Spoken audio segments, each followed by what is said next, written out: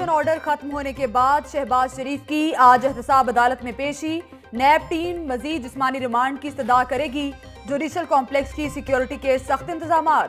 Police, anti riot force اور rangers کے ایک ہزار اہلکار تعینات۔ احتساب عدالت کو جانے والے تمام راستے کنٹینرز لگا کر seal. M O college road, lower mall road اور سیکٹریٹ چوک سے ملکہ راستے بھی بند۔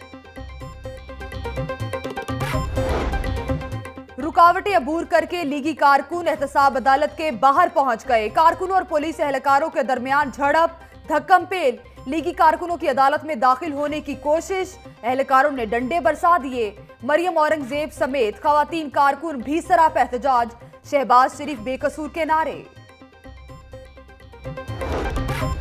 شہباز شریف کو پی اے اے کی پرواز چھ سو اکاون سے لاہور لایا جا رہا ہے۔ شہباز شریف کو لانے کے لیے نیب کی گاڑیاں حج ٹرمینل پہنچ گئیں۔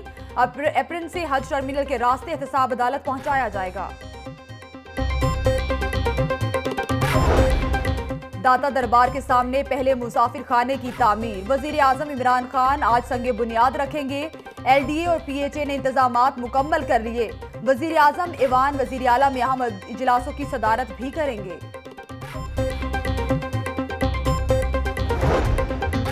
مسافروں کی تعمیر کا منصوبہ درختوں پر بھاری پڑ گیا۔ حکومت نے اپنی ہی کلین اینڈ گرین پاکستانی مہم کی نفی کر دی۔ داتا دربار کے سامنے مسافر خانہ کی تعمیر کے لیے درختوں کو قتل عام۔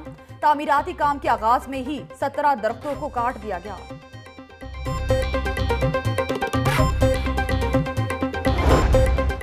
سرکاری افسر کے گھر پیسہ ہی پیسہ۔ نیب لاہور کا گریڈ سولہ کے سابق سرکاری افسر کے گھر چھاپا۔ تیس کروڑ برآمد۔ دس کروڑ پاکستانی نوٹ، سترہ کروڑ کے پرائز بانڈ اور تین کروڑ کی غیر ملکی کرنسی شامل۔ چھاپا ای ایم ای سوسائٹی میں واقعہ، خواجہ وسیم کے گھر پر مارا گیا۔ ڈی جی نیب انکوائری کا حکم۔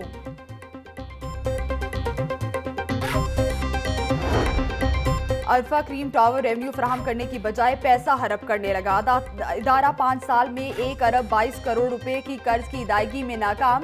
پنجاب انفارمیشن ٹیکنالوجی بورڈ محکمہ خزانہ کا قرض چکانا ہی بھول گیا۔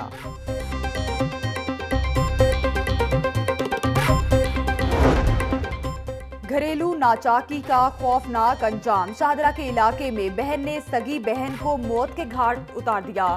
ردا نے بڑی بہن فضا کو گلے میں پھندا ڈال کر قتل کیا۔ تحقیقات جاری، پولیس۔ ایس پیز کی بڑے پیمانے پر رکھاٹ پچھاٹ چونتیس مزید ڈی ایس پیز کے تقرر و تبادلے کر دیے گئے۔ اعجاز علی کوڈی ایس پی ٹاؤن شپ لگا دیا گیا۔ Iqbal Hussain Shah D S P Qila Gujjar Singh تعینات Muhammad Saleem D S P garden town مقرر۔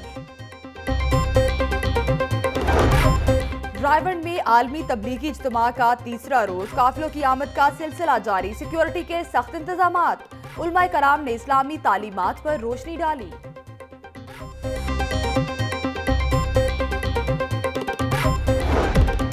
پنجاب گروپ آف کالجز کھیلوں کے میدان میں بھی پیش پیش ملازمین کے لیے ماڈل ٹاؤن گراؤنڈ میں cricket tournament chairman Dunya media group می عامر محمود نے بیٹنگ کر کے افتتاح کیا۔